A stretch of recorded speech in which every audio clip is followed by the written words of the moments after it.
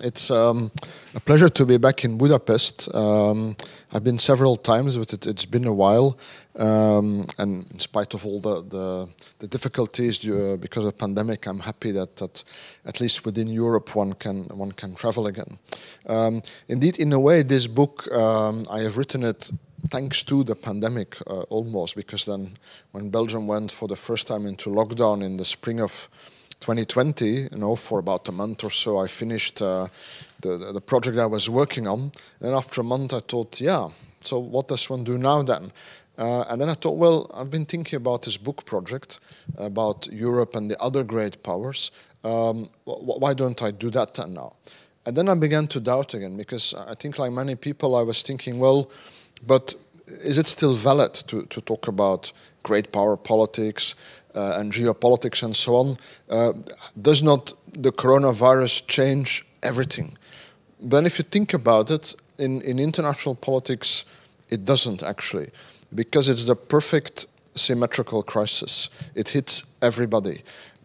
Had it hit one of the great powers and not another, then I think it might have had a great impact. It, it, would have changed the balance of power between them.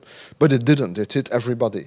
And so what you see is that the rich and the strong, they stay rich and strong, whereas the poor and the weak, they become more poor and more weak, as, as very often in, in, in a crisis.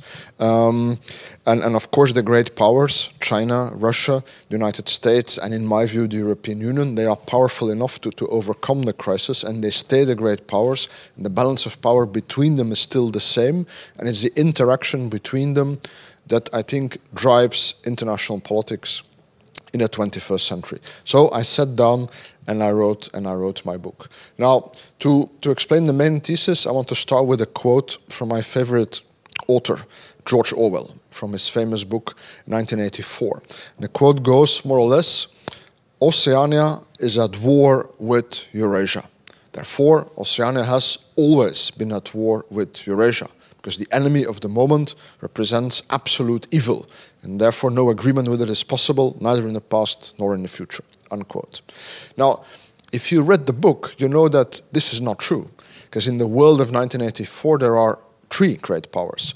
Oceania, where Big Brother rules, um, Eurasia, but there's also East Asia.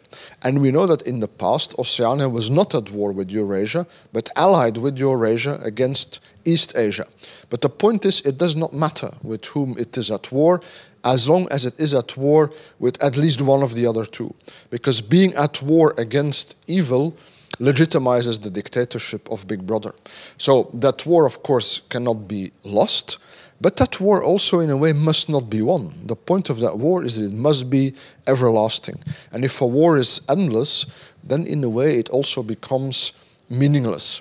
Now, I'm not arguing, of course, that this is the world in which we live, but I do think there are elements in, in international politics today that may lead us to a rivalry without end. And if a rivalry is endless, it also becomes a bit, uh, a bit meaningless. Why do I say that? Three points that I, I, want to make about this before then coming to some policy uh, prescriptions for the future.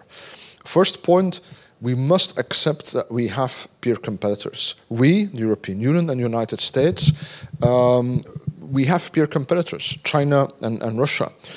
We're not obliged to like the fact, but, but we will have to live with the fact. And I want to stress that because so often in the debate, you have an undertone of, you know, as if somehow, you know, how dare they, the Chinese, to challenge us? As if somehow normality is that we, Europeans and Americans, dominate the world historically speaking, that's rubbish, of course. You know, the history of world politics is a history of multipolarity. You always have multiple poles, multiple powers, who, in an ever-changing game of alliances and coalitions, uh, compete, but but they also um, cooperate. And so I think it's important to understand this. You will always have peer competitors.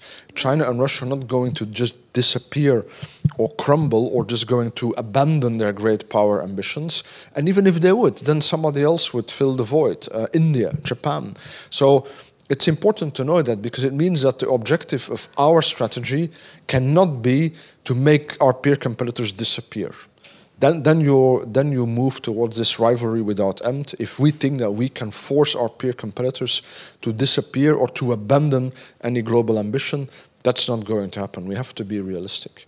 Um, second point every state, every great power has legitimate interests and the right to pursue those through legitimate means regardless of their domestic politics.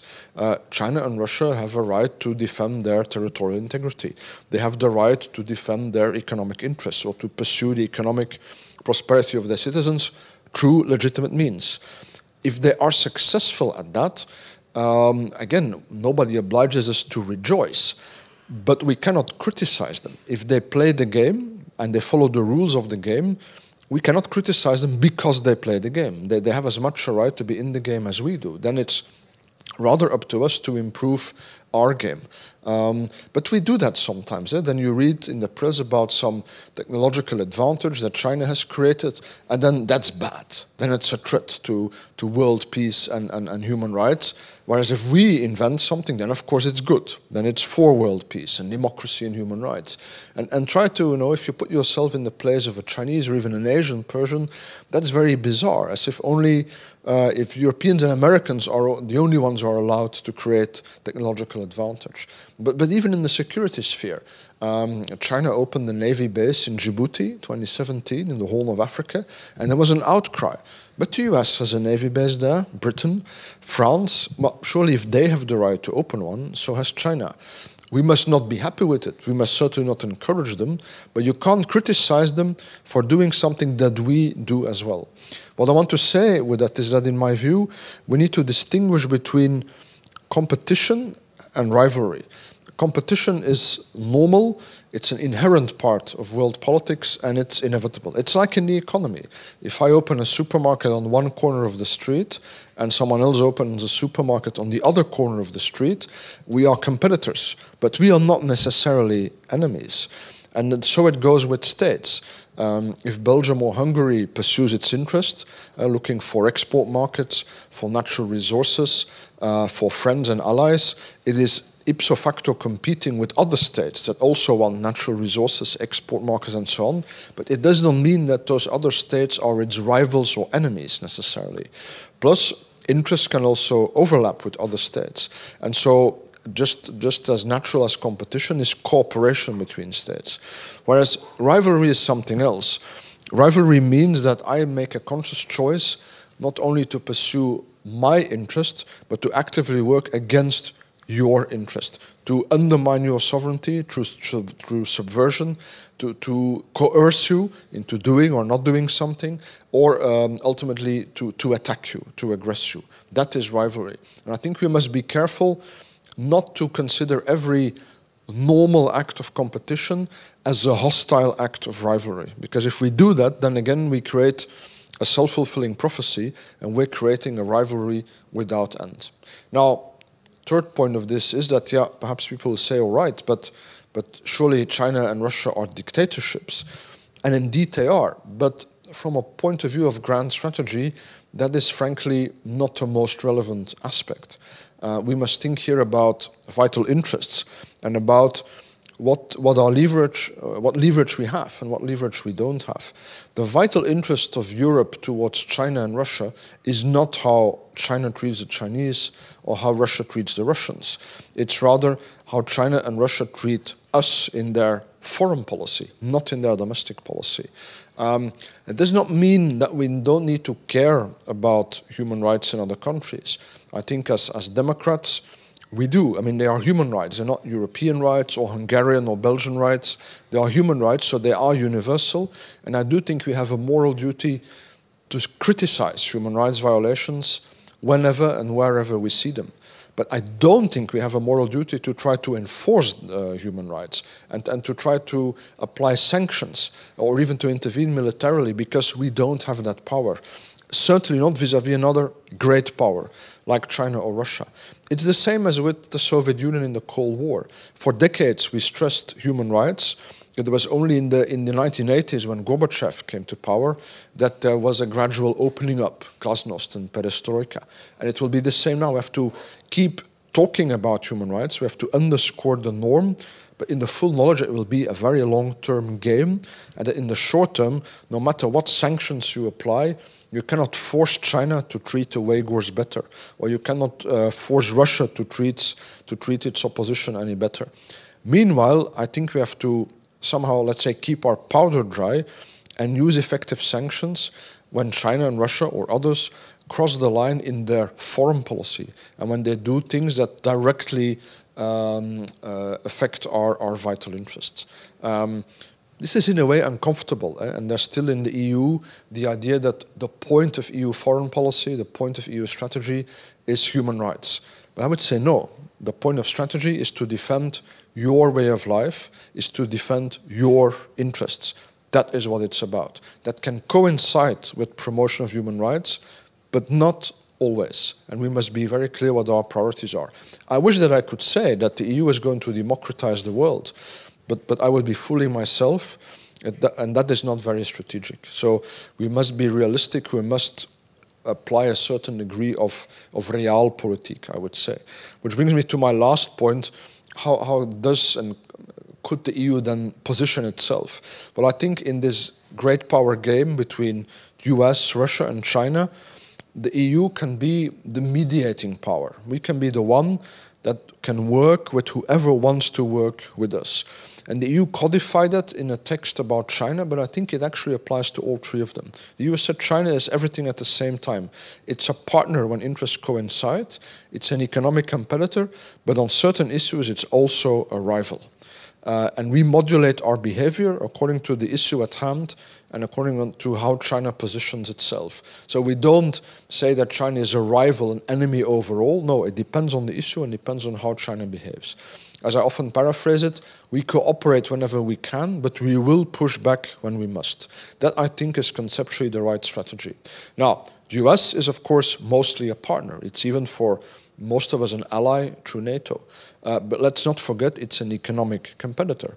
It is not the objective of US strategy to defend the European economic interest, certainly not. And it sometimes behaves even as a rival. Uh, when, when the US government applies sanctions on European firms, uh, when they do business with Iran, even though under European law that's perfectly legal, they do that to force us to change our Iran policy. For me, that's the behavior of a rival. That's not how I would expect an ally to behave. Um, and if, as sadly is possible, um, Trump or, or you know, Donald Trump or another Trump or a Trumpist would win the elections in 2024, we may see more of the same. Russia, I think, is the mirror image. Russia is mostly a rival and positions itself mostly as a rival. Although the EU keeps saying that where interest overlaps, we are still willing to work with Russia, but Russia doesn't seem to be willing to grasp that, that opportunity. And I think Russia, even though tactically it often plays a bad hand brilliantly well and with fairly limited means can create a lot of havoc in many areas around Europe, uh, and it has a lot of nuisance power, but in the end, it has maneuvered itself into a dead end street because it has made the domestic legitimacy of the current government very dependent on this posturing, muscle flexing against Europe, which means that it can now not make a compromise with Europe even if it wanted to. Whereas Russia's real geopolitical problem is not Europe, that's China. There's all of Asian Russia. Nobody lives there, so to speak, but it's full of natural resources. The other side of the border, 1.4 billion Chinese. That's a real geopolitical challenge. But they don't dare to talk about it, so they invent a problem with Europe that's much easier to talk. And we're a polite company, right? If you slap the EU in the face, we will say, Did you really mean that? Are you sure you meant that? Let me invite you for lunch and we'll talk about it. You know, you can't play those games with, with, with China. So I think Russia has maneuvered itself into a stalemate, and we have to show patience, maintain our sanctions regime that we have since the Russian invasion of Ukraine, the annexation of the Crimea, until Russia is really willing to make a compromise and offer a quid pro quo. Then finally, there is, of course, China. Um, again, the EU clearly uh, partners with China where interests coincide, on climate, for example. China is obviously a really big economic competitor, but that's how the economy works. Eh? We wanted China to become capitalists? Well, they are, you know, and they, they are somehow more successful uh, than us sometimes. Of course, they don't always play by the rules, and we must keep them to the rules of the game. We must stress that. They're in the World Trade Organization, they must follow the rule. and then we must also become more competitive. But they do also behave as a rival. For example, when they claim the entire uh, South China Sea on, on totally spurious grounds. Um, again, I, so we must cooperate when we can with China because China is not going to go away. Um, but we must push back when they cross the line. But I think we've got the emphasis wrong. It's very easy for you to get excited about Hong Kong, about the Uyghurs in Xinjiang, but we're much more timid when it comes to the de facto military annexation of the South China Sea, or when it comes to daily uh, hybrid actions against our sovereignty by China and by Russia. Then the reaction is very limited. In my view, we must turn this around. And we, we must keep talking about human rights, as I say, but we must actively push back when they cross the line in their foreign policy. And we must, I think, find a doctrine of deterrence and retaliation against all these hybrid actions against us, spreading fake news, um, subverting our decision making, corrupting our officials, uh, sabotaging our systems. That sort of thing we must, um, I think we must show more resolve in, um, in, in dealing with that. Then of course, the EU is sort of principally committed to multilateralism, uh, and that's crucially important because the, the best way to, to mitigate these tensions between the great powers is still various forms of multilateral cooperation. Um, Russia doesn't care much for multilateralism, but it no longer has the power to undo the world order. China and the US are in some ways similar. They are very selective multilateralists. They follow the rules when it suits them, but they just as easily ignore the rules when that suits them. So obviously China is not a big pillar of the, of the multilateral system of the world order, but I also don't think that China, at least so far, is trying to undo the world order or somehow create an alternative system because they're one of the great beneficiaries of the current system. Uh, but for sure, they are trying to gain more power within the system. Now, the rules of the world order as they exist, they have been written by us, Europeans and Americans, which does not make them less legitimate. You know, China and Russia have signed up to them. We must keep them to those rules. But it's also clear that if you want to write new rules for new policy areas, yeah, those will not just be written in Brussels and Washington. We'll have to take into account Beijing.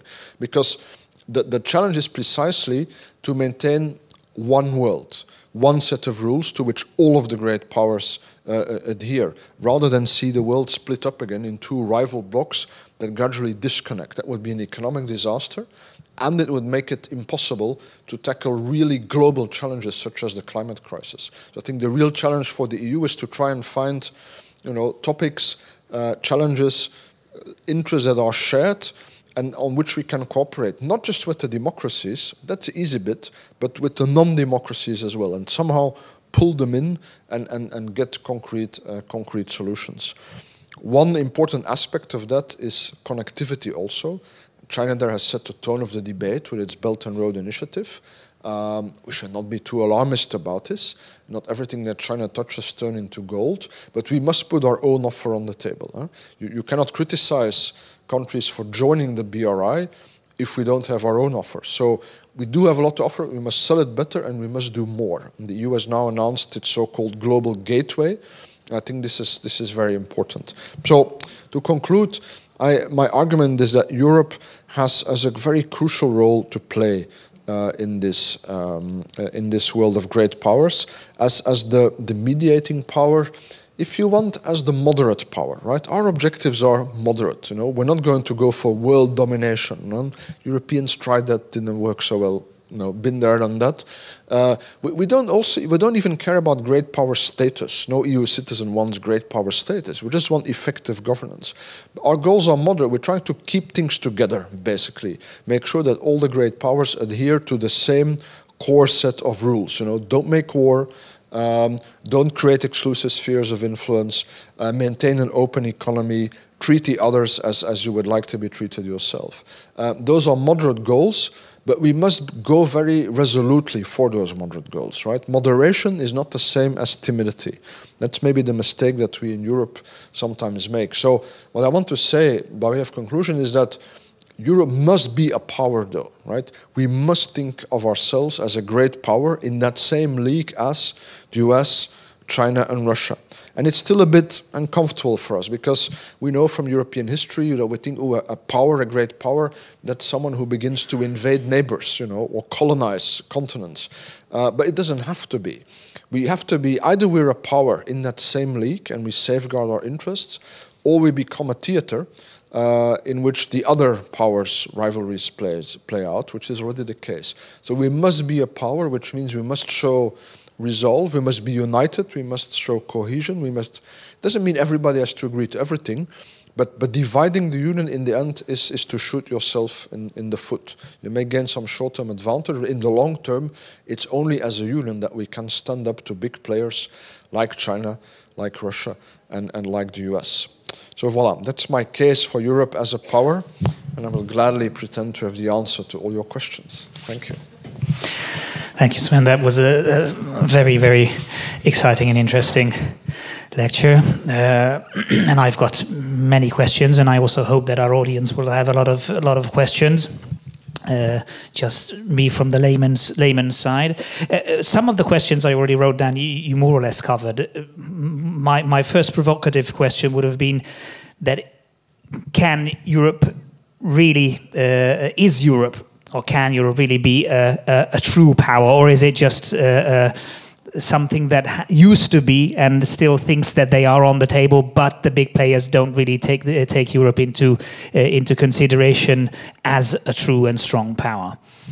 I mean, I would say in economic terms, we are a great power, undoubtedly. We're one of the three big economies with China and, and the US what Brussels decide on economic terms has global impact. But in political and security terms, it, the, the picture is much more uh, much more diverse. And one of the reasons is that, yeah, the, in, in the economic sphere, that's where the EU is the most in integrated, where the EU is not a state, but it's a state like organization, it's supranational. But, but in diplomacy and security, it's the least integrated. Everything is done by unanimity by 27.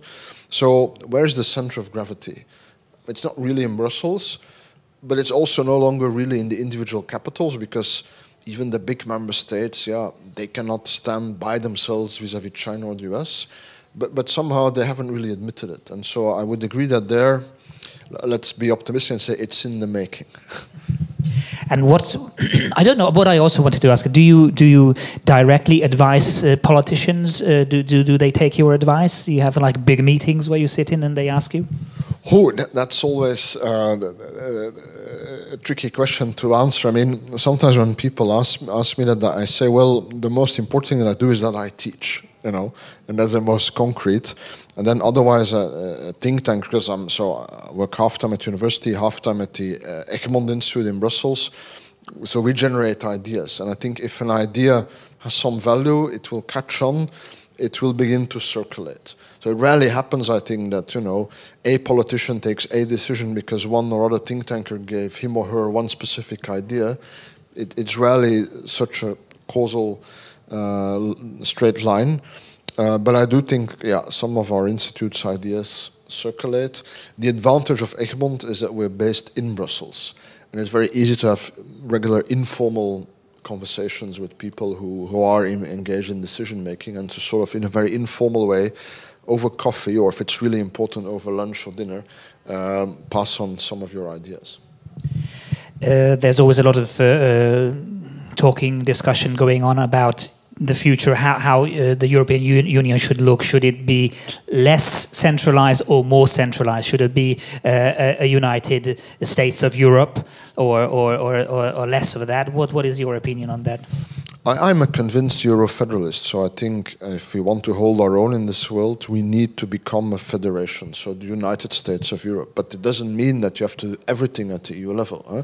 Belgium is a federal state, so we don't even do everything at the, at the Belgian level. We do a lot at the Flemish, Brussels or Walloon level, and that doesn't have to change. Uh, but there are still many areas, I, I think, which it is clear that at the national level, you can't make things happen. And, and defense is clearly one of them, and diplomacy too, for me. Uh, that, that's why I think ultimately, just like we have one currency and one foreign trade policy, we ought to have one EU diplomacy and one EU defense policy. I just put my phone here because I know if there will be any online questions, I will get it on my phone. Uh, there's been uh, a lot of talk about uh, a, a, united European army. Uh, what's your opinion on, that, on, on, that? Do you think that's a good idea? Because we, we, before we spoke, and I said, "Oh, I, it's uh, I, I, wish we wouldn't have to talk about this. This is what I meant. That it's kind of as a European citizen to hear about things like that. Uh, that oh, it's it's time to, to make a stronger European uh, military. It's kind of ooh, that's that's not something you you want to hear. Nevertheless, yes, we hear that there's a, there's a, there's an arms race going on. So yes, probably it's it's something that, that has to be on the table. But is that something you agree with uh, that there should be a, a, a, unified European army or military? A European army, in the strict sense, would mean that you no longer have a Hungarian or a Belgian army, but that you have Hungarians and Belgians in uniform who are on the payroll of the EU. I mean, that, that if you would start from zero, that would be the way to do it, right? Suppose that tomorrow you would give me 250 billion, which is what the EU 27 spend on defense. You would say, defend Europe for me. Uh, I could do that, and, and I could probably, you know, put a 10% commission in my pocket because I would make one army, right? Um, but you're not starting from scratch. We have a Belgian, a Hungarian, a British, a French army. Well, Britain's not in the EU anymore, of course. So I think where we're going is, is not to go for one EU army, but rather to create permanently integrated national armies. Now we do, there's a lot of cooperation going on and our armed forces try to be interoperable, meaning they can cooperate with each other on operations, but it's always temporary. They get together for a specific operation and then they split again. And what I would do is to say you need to have national building blocks. For example, if I talk about the army land forces, a brigade, right? A brigade can be Hungarian, can be Belgian, French, but if that Hungarian or Belgian brigade is permanently anchored in a bigger multinational core, not temporarily but permanently, then you can do all kinds of interesting stuff. At the level of the core, you can make sure through um, division of labor or pooling of effort that, that all the capabilities that the individual countries are missing, that you have them. Heavy artillery around your, your brigades, air defense, drones, the strategic enablers, the transport aircraft, the maritime transport, the satellites, the command and control. And over time, you can harmonize the equipment that, that you use. So it will still be a Hungarian brigade in Hungarian uniform or a Belgian brigade in Belgian uniform, but it will at the same time truly be part of a single multinational unit so that if there is a crisis, you can draw from this pool of brigades to, to create a, a, a tailor-made force for the specific operation that you want to do. That, that's how I, I see things uh, moving ahead. And perhaps not all 27 EU member states want to go there from the start. That's fine. But, but it only takes four or five or six um, to, to, launch it, or maybe four here and four in another corner, and to really kickstart this process of integration. But we must do it because the reality is that for 20 years we've been talking about this, but we haven't done this. We haven't done it, and the consequence is that today we have fewer military capabilities than 20 years ago and that's not very smart, I fear. Especially that there's a really serious arms race go going on, a new arms race. Uh, there's a lot of uh, discussion of word uh, going around about hypersonic uh, uh, rockets. Is this something we can keep up with at all? I mean, with with these huge uh, uh, military nations like the the U.S., Russia, China, can we keep up at all with this arms race? I mean, I think we must be clear about our level of ambition. We are not trying to necessarily dominate another. Uh, another part of the world. We're not trying to become a military power in Asia. I think we must be able to do two things. One, to deter any aggression against the EU itself, to make it clear this would be so costly that you don't start it. Um, ultimately, there's nuclear deterrence, but I think even our conventional force may be sufficiently strong to signal to anybody that you know you don't want to start this. Two, we must be able to project stability into our neighborhoods, uh, our immediate neighbors towards the east and the south. That's not a purely military thing. That's also a lot of it is trade, investment, development, Uh, politics, but there is a military component to that. And, and it's clear that the US, you know, the US focus has shifted. For the US, it's now clearly Asia first, and that has huge consequences. It has consequences for our own defense because it means that in a hypothetical scenario, if the US is involved in a crisis in Asia and simultaneously there's a crisis in Europe, the US might well prioritize Asia meaning that we would have to defend ourselves in the first instance, holding the line until, in a later stage, probably American reinforcements will arrive. So we have to beef up our conventional defense, even if we still do it through NATO, but the European part of NATO will have to become much stronger. And secondly, we know that crises in North Africa, in the Sahel, for example, that directly affect our security, the US is not interested in dealing with them. The US wants us to deal with them. So you need your own capabilities that, are, that you're able also to move there, to project power there, to, to stabilize those countries. Now, that, that means so we, we need we don't need the full range of, of, of, of weapons that US needs, and we don't have to follow necessarily in this race for hypersonic weapons and so on and so forth. But we do need to make sure that in in key areas of high technology we are there. Uh, that that we, we have our own European capacity, that we have our defense industrial autonomy in those fields. I think maybe we can, there's there's not many things we can thank Trump for, but I think maybe that that is one that that uh, his uh, rejection from from from Europe kind of woke us up that we, we have to kind of uh, get on our own feet and we can't depend on the US anymore and we have to be independent from from the states. I mean that was clearly a shock, uh, and especially when he said during his during the campaign that NATO was obsolete, and then he retracted that, but only up to an uh, to a degree, and he kept saying that yeah, if you don't pay your dues, you know, I'm not sure we will defend you, and, and it was a shock, and yet you see that many member states still don't want to see the reality. And, and I understand that. I understand the temptation that you know if you convince yourself that no matter what, in the end, the U.S. cavalry is going to come to save you. Then suddenly nothing is urgent anymore, right? Then, then yeah, then we can pack up now and go for dinner. Um, um, and so I understand that temptation, but I think it's very short-sighted to think that whatever happens, the U.S. cavalry will be there. Perhaps, perhaps not. It depends on what the U.S. cavalry happens to be doing at a particular moment in time. And if you go to Washington, if you speak with American strategic thinkers, it's very, very clear. Their number one priority is, is Asia. And that's, that's, that's structural. It's Obama who launched that. Um, and it's the first time since the Second World War that it's Asia first. Because when America entered the Second World War, 1941, it was Europe first. You know, they were defeat Nazi Germany first before they would turn on Japan.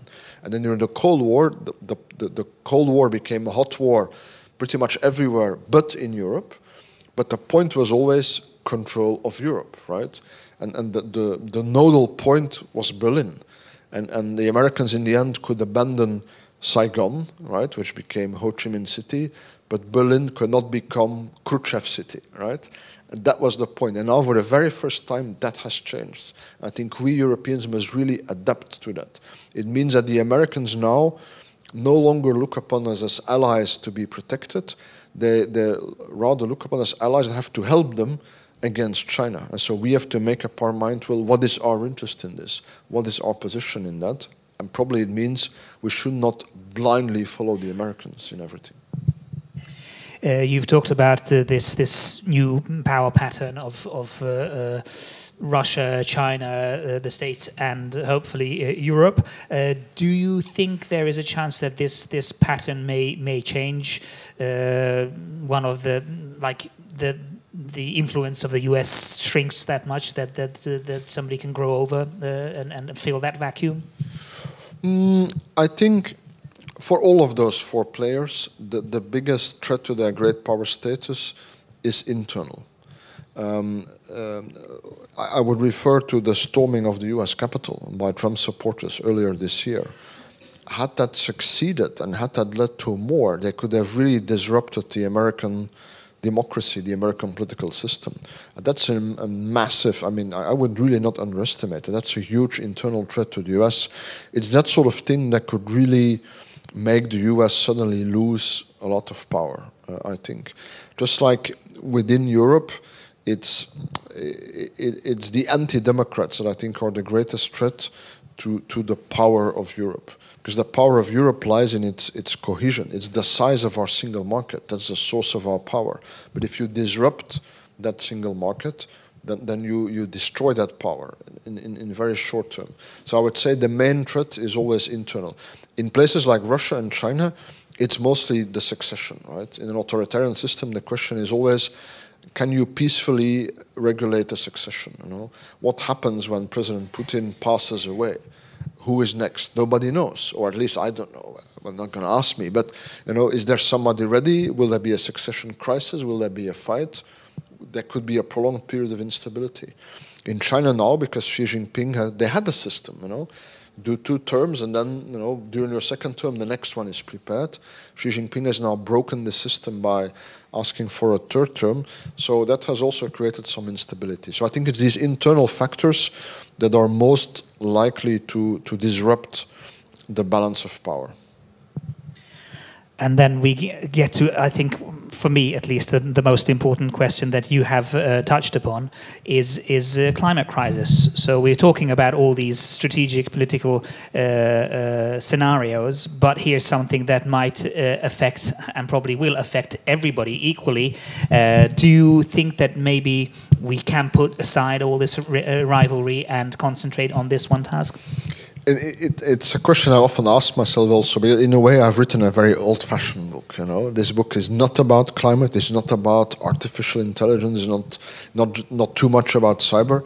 It's about good old-fashioned great power politics, geopolitics, and strategy.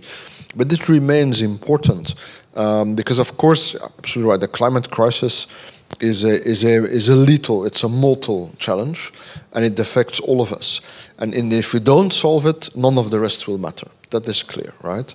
Um, but at the same time, while we are trying to solve it, it's also very important that we don't kill each other first in a great power war.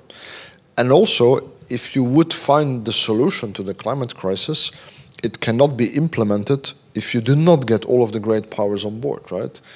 There's nothing you can do if China is not on board or if the US is not on board.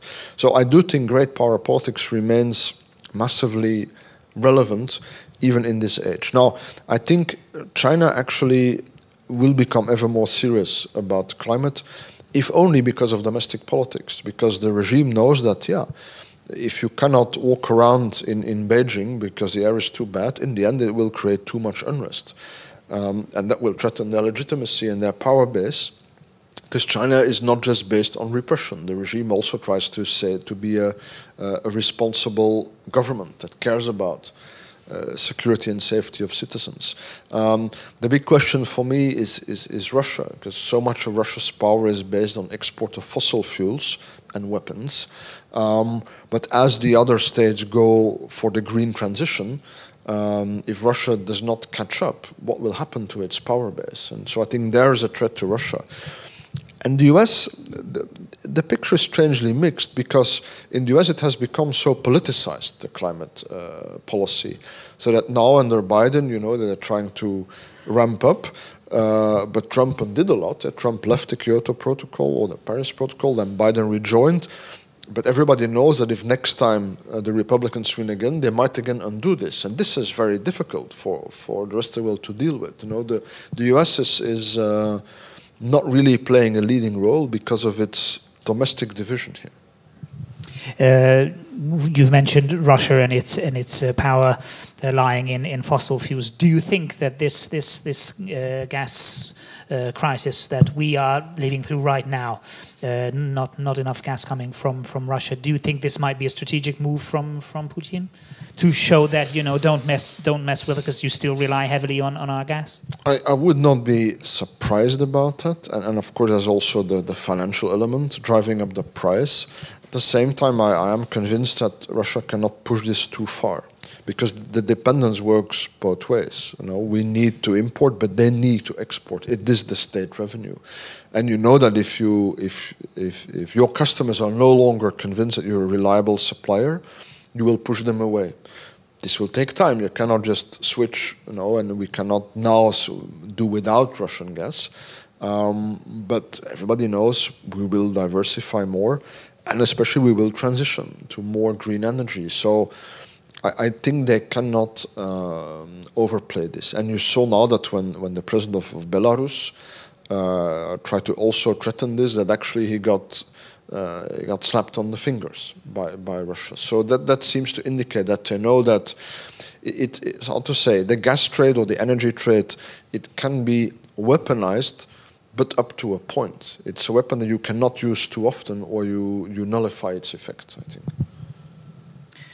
uh, I've got one kind of hippie question for, for, for, for the end.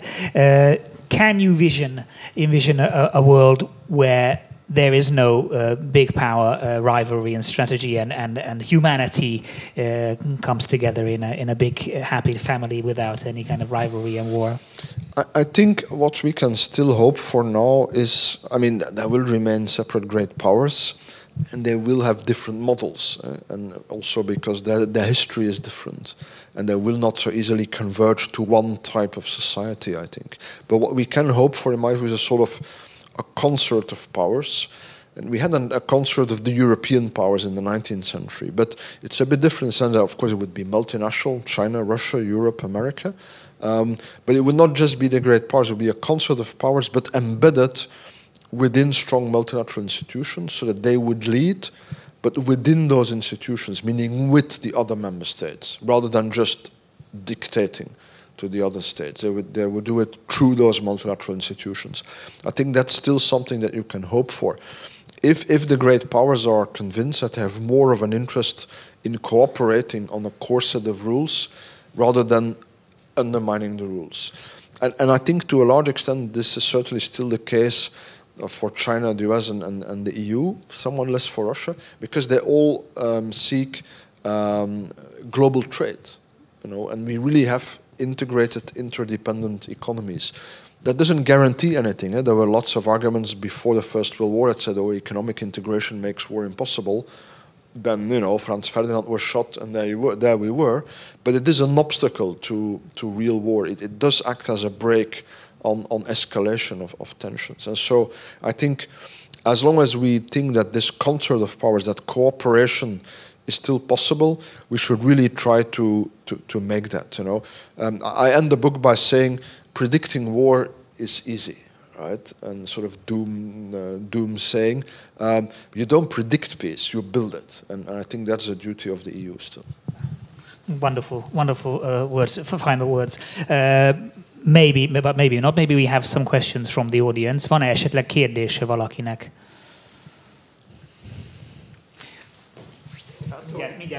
Adunk egy mikrofont. You have mentioned that you are an old-fashionable thinking man, but I am I'm curious. I, I am interested for the alternative ways of war. So where is Europe's role in this question? So artificial intelligence, electronic war, fake news, etc. So, so if we hear news, they are between let me say, Israel and Iran, US, Russia. But I didn't hear too much about European method of, uh, yeah. True, um, and thank you for that question. I mean, one thing is that all these new forms of warfare, they never replace the old forms. They are added to them, but the old forms still continue, right? It's like it's like after World War One when we invented air power. Then you had some theories say, "Oh, future wars will only be fought from the air." Well, no, and just like today, no war will only be fought in cyber, in cyberspace. Wars will also still be fought at the same time in the physical space, but you must be uh, capable in all dimensions. So we must add the cybersphere to it, and, and this whole what we now call um, hybrid sphere. So uh, that's why we must also have our own capacity in this field, and we must make sure that we are ourselves at, at the forefront of technology and, and research and technology in in artificial intelligence, for example, in quantum computing also, um, because if you're not if you are, then you can try to regulate it because the EU always tries to regulate, for example, artificial intelligence. But my fear is that if you're not yourself at the forefront of technology and production, who will care about your rules? So if you want to be able to regulate, you have to be a producer. That's what I think. Now, at the same time, um, what I think we miss is a sort of a kind of doctrine of, of deterrence against all these kind of actions against us. Um, we do build up defenses, so we, say we build up cyber walls and so on and so forth. but but we don't really react so much. So we do what is called um, deterrence by denial, building up strong defense, but we don't do deterrence by punishment, by retaliation. I think we have to consider that that when when other states really go too far, that we must strike back.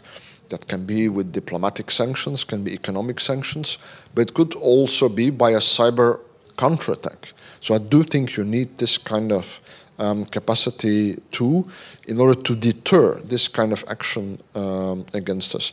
And I think, frankly, we can only have that kind of capacity at the European level. I, I think it's beyond the means of, of indi individual states now. The, the, EU is beginning to think about this in, in, in new strategic thinking about deterrent, deterring uh, hybrid uh, actions, about its own cyber defense doctrine and so on and so forth. So beginning to think about it, but we're already behind, so we, we should probably accelerate this to, to take up the urgency of your question. Thank you. Yes, sorry. Uh, so my personal opinion is that to, to have a nuclear war, it, it costs too much, so in consequences in money, etc. But to make a electronic war, it's easy and uh, I am an old man, so I remember that about 40 years ago, or 60, 50, in New York was uh, electrical, so missing, so electricity went out. And the prisons were open, so the New York died for two days. Today, we are much more depending on electricity, so uh, electronical. So if my computer does not work three days, so I am lost. But uh, so, so we have heard some news that Russia and Estonia, so they blocked two days or some, sometimes the governmental offices. And I don't see any, any instructions or possibilities. So if we get some attack in electronics, then what should we do? I think that not only in Hungary, but uh, I don't see the aspiration in Europe. Okay, so that's it. No, no, I agree. I, I, agree that we really must develop a sort of doctrine on this and, and the capacity. Um, and as I said, it is in the debate now, but we're already we're already behind this. Um, and I mean, some stuff is happening on a daily basis but it stays below a certain threshold also. But you're right to say that if you go all out in this kind of cyber attack, you could paralyze the functioning of a society. And at one point, the state that is the victim of it could decide, well, now we consider it an act of war. And once you say it's an act of war, then you can also decide to retaliate by military means we're not there, but but that could be the as long as you can identify who the attacker is. Yeah, no, and that there's certainly that. Although, I mean, you hear mixed messages about this from from cyber experts. Um, but you could also, I mean, part of the deterrent is also say, well, if we are sufficiently sure, uh, we will strike back. So that's ambiguity is also part of the deterrence, I think we had another question from the back row. Yes, actually, you partly already answered, but perhaps you might add a few more things about it. What I was going to ask that if you, said somehow ironically that if someone is slapping the EU in the face, then we invite the other half for, for dinner. Uh, but what what else do you think we could do? What other assets uh, the European Union ha have? Uh, just listed a few, but, but if you can add a few more things, that would be great. Well, uh, our, our fortune is that, that the core of our positioning vis-a-vis the other powers is our economy. And, and, in the economic sphere, we are the most integrated. And now, every, now we talk about geoeconomics, basically the strategic use of, of economic instruments. Uh, and there the Commission can do a lot because a lot of the competences are already have been Europeanized or are supranational. Uh, and so for us to regulate who can do what on our market, that's a really important uh, tool of, of power. And I think there we have really become conscious of that, that it's, this is not just about our economic objectives and interests, but about our overall grand strategic objective and interest, that you must get this right Um, and, and, things are moving. So we have investment screening, for example, to be able to defend our sovereignty. But you can also play with market access to try and influence others um, others' behavior. So I would say this is the core still of, of, of power. And as long as um, the other great powers don't turn to open war, then I think geoeconomics will stay the core of it.